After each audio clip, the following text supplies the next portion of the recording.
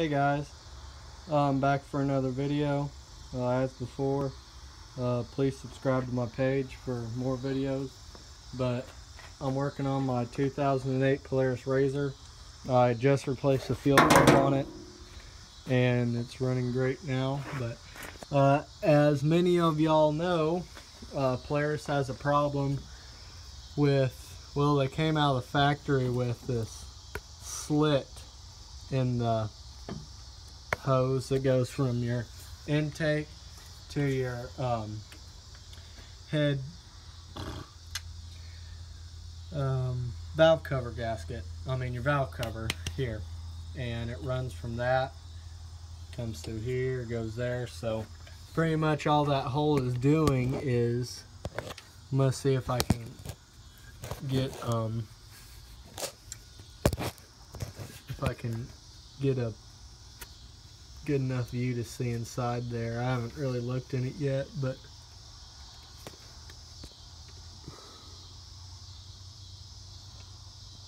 yeah, it's hard to see, but there's some dirt in there.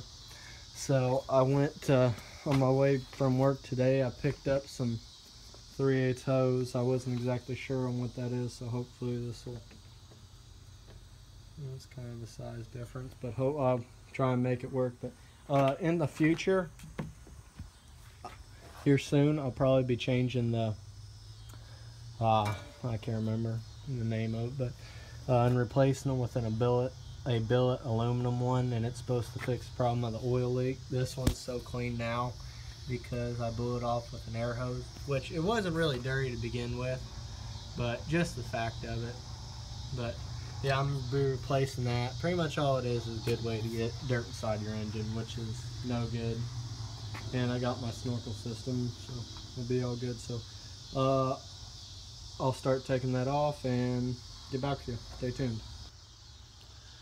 Alright, so got the hose off. Here's my new hose.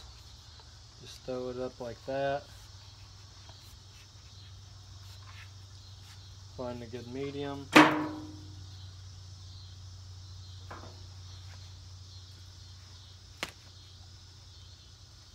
Try and make a nice as clean cut as you can. That's pretty good. So I'm gonna get my fittings. There's that one.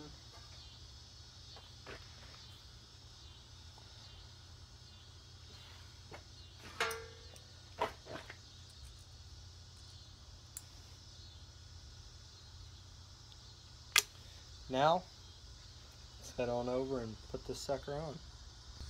Alright, I don't really got a good place to put my camera, but I'm gonna run it from obviously there to there. So let me put it on I'll get back with you. Well, I had some trouble with it, but I ended up getting it on, put that on, that on, and that fixes that problem. Thanks, like, subscribe.